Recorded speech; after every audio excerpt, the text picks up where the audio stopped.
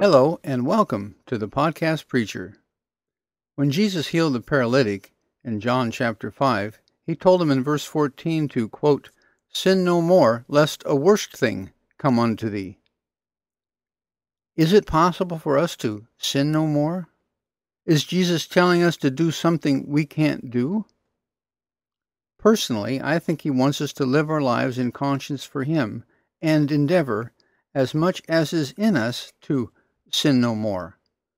But he knoweth our flesh, that we are weak. And so he gave us an advocate, Jesus Christ, who is faithful and just to forgive us our sins and cleanse us from all unrighteousness. So go and sin no more, and remember to worship the Lord with all your heart, and do not turn your back on him in any way.